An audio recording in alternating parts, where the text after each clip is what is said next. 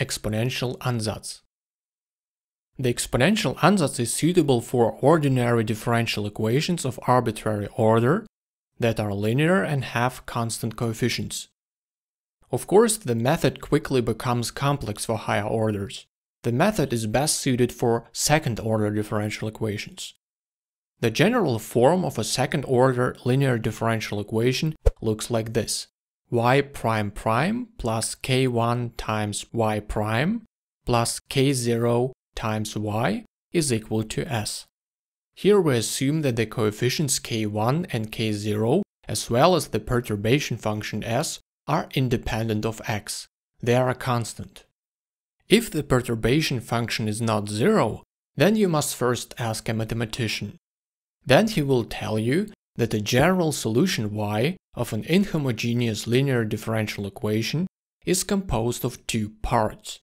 A homogeneous solution, yh, of the homogeneous differential equation, and of a particular solution which we denote by yp. The homogeneous solution yh solves the differential equation if you set the perturbation function s equal to 0. In the method of the exponential ansatz, as the name suggests, we make the guess that the homogeneous solution yh has the form of an exponential function. yh is equal to c times e to the power of lambda times x. Since the first and second derivatives of yh occur in the general formula of the differential equation, we must differentiate our exponential ansatz twice. The first derivative is yh prime is equal to c times lambda times e to the power of lambda times x. And the second derivative is c times lambda squared times e to the power of lambda x. Now we can insert the exponential ansatz and the corresponding derivatives into the differential equation. Let us factor out c times e to the lambda x. If we divide by this factor, then we get the so-called characteristic equation for lambda. When we solve this equation, we find the unknown lambda. Since it is a quadratic equation for lambda, we get two solutions, lambda 1 and lambda 2. We have to consider both of them. Basically, you can set up the characteristic equation directly by looking at your differential equation without having to do all these steps. Compare your differential equation with the characteristic equation. The coefficient in front of lambda squared is in front of the second derivative of y. In this case, the coefficient is 1. The coefficient of lambda is in front of the first derivative of y, in this case k1. And the coefficient k0 in front of the function y itself stands alone in the characteristic equation. By the way, if you had a homogeneous third-order differential equation, then the characteristic equation would start with the cubic term, and so on. A quadratic equation has two solutions, lambda 1 and lambda 2, and you can determine these, for example, with the quadratic formula. Since you get two lambda values, we have to consider both. To do this, you have to extend the exponential ansatz by another term in which the second lambda value is in the exponent. With the corresponding lambda values, this is the solution of the homogeneous differential equation of second order. Depending on the values of the coefficients k1 and k0, the solutions may show different behavior. Because if k0 is greater than k1 squared over 4, then you are taking the square root of a negative number. In this case, you get a solution that describes oscillations. I will show you this in an example. If the differential equation to be solved is inhomogeneous, that is the perturbation function is not zero, then we still have to add the particular solution, yp, to the homogeneous one to find a general solution. For the particular solution, we have to choose an appropriate approach depending on what form the perturbation function s has. Here we look at the simplest possible form, namely when the perturbation function s is constant. Then the particular solution is given by a perturbation function divided by the coefficient k0. yp is equal to s over k0. Now, to get a general solution of such an inhomogeneous differential equation, we have to add the homogeneous solution and the particular solution. The two unknown constants, C1 and C2, are determined by the constraints, as you know. Also note that this method of the exponential ansatz is a guess method.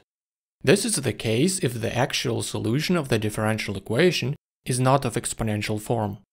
Therefore, if you use a solving method that contains the word ansatz in its name, be sure to check your solution. You do this by substituting the solution you have found in the differential equation and checking if both sides are equal.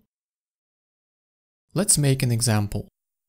Do you remember the differential equation for the oscillating mass? This is a second-order differential equation with constant coefficients. The perturbation function is zero. That means we only have to find out the homogeneous solution. And we do that with the exponential ansatz we just learned. Let's take the fast way and directly write down the characteristic equation. We expect a quadratic equation because we have a second-order differential equation. The second derivative is preceded by the coefficient 1, so we just write lambda squared. Then the coefficient in front of the first derivative. Since the first derivative is missing in the differential equation, the lambda term is absent as well. Next up is the coefficient d over m that is in front of the searched function. This coefficient stands alone in the characteristic equation. Altogether, the characteristic equation reads lambda squared plus d over m is equal to 0. For this equation, we don't even need the quadratic formula. We get the solution directly if we first bring d over m to the other side and then take the square root. Consider that the inverse of squaring gives two solutions, a positive and a negative square root. Also, we have an interesting case here when the square root of a negative number is taken. Square root of a negative number is not a real number, but an imaginary number. Do you remember what that means? We expect that the system must oscillate. Even if you don't know imaginary or complex numbers yet, you can split the term inside the square root into a product of minus 1 and d over m. According to the square root laws, you can split this product into two square roots. Square root of minus 1 is defined as the imaginary unit, a number which we denote by the letter i. That's all you need to know about imaginary numbers.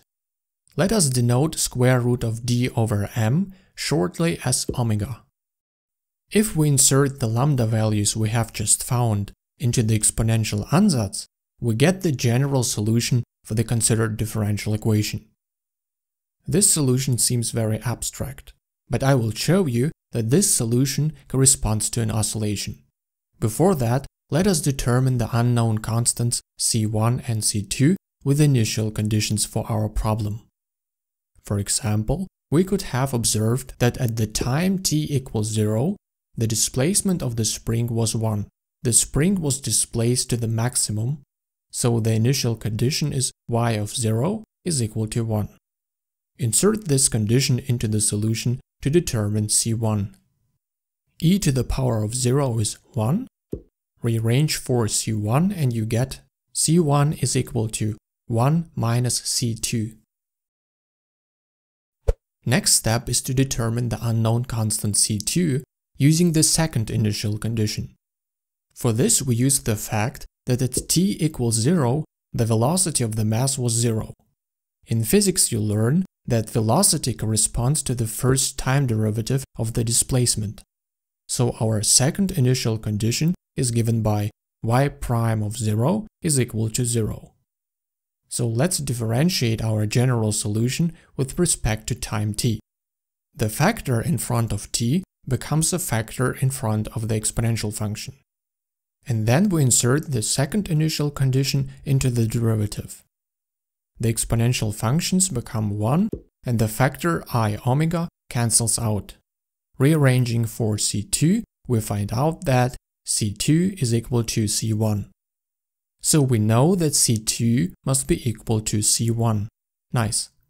Let's replace c2 with c1 to determine concrete value for the constants. The equation results in C1 is equal to 1 half. Since C1 and C2 are equal, C2 must be also equal to 1 half. Insert 1 half into our general solution. Now, let's find out what this abstract solution has to do with oscillations. For this, we get our friend Euler to help us, who tells us his famous Euler formula.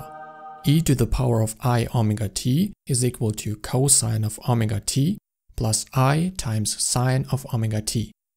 This relation tells us how the complex exponential function is related to cosine and sine functions. So the first complex exponential in our solution becomes cosine and sine with positive omega t, and the second complex exponential becomes cosine and sine with negative omega t. We can omit the minus sign in the argument of the cosine function because cosine is symmetric. That means it has the same value for arguments x and minus x. The sine function, on the other hand, is antisymmetric.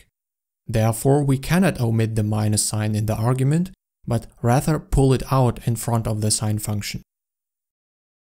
Very nice, the complex sine function drops out, and the cosine can be summed up. And this is our final solution. As you can see, the displacement y changes periodically with time. The mass attached to the spring oscillates back and forth, and the oscillation is described by the cosine function.